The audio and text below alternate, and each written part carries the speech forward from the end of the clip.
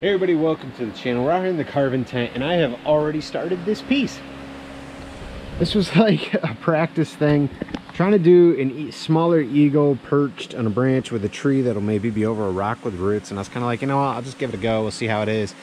And, I, I'm kind of like seeing the vision as I go and I'm like, crud. I should have videoed this from the beginning. But hey, here we are, okay? This is where we're at. And uh, I don't know what the thumbnail is going to be at this point. You maybe already you've seen it done or in the works, but yeah, we're uh, gonna bring you guys along and finish carving this piece. So I don't know, give me a thumbs up, hit subscribe, hit that bell, hit all so you don't miss future uploads. We've been chainsaw carving live a lot lately, and I try to upload those because it's real time. You guys can see cuts and uh, hopefully help those beginners out. I don't do a ton of eagles, so that's why I was a little hesitant to even video it, but uh, it's coming along nice. And I gotta get more practice on them anyway and get them out there for you guys. So, yeah, whatever. Uh, be sure to check out the store tab, get yourself some merch. Thank you to all my members. You guys rock. And uh, let's continue to keep going, making sawdust stuff with chainsaws. All right. All right, so I'm going to try to answer questions I normally get throughout the video. Uh, what am I carving? Yellow pine. And the saw that I'm starting with and have done most of the blocking with on this particular unit is the Stihl MS 170.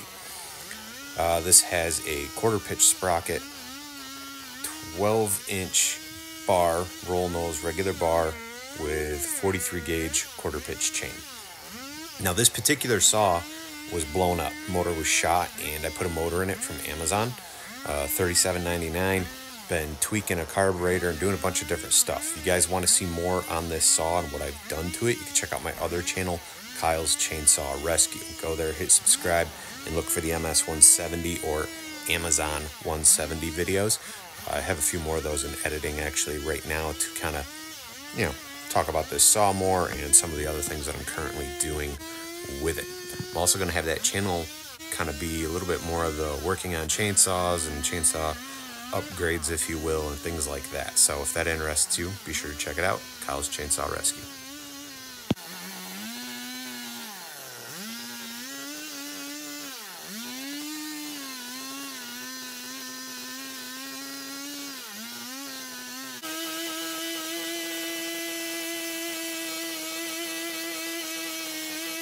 Alright guys, quick look at where I'm at so far in the block and getting that branch sticking out with everything on there.